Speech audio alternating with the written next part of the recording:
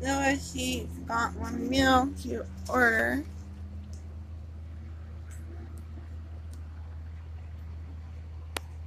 I mean,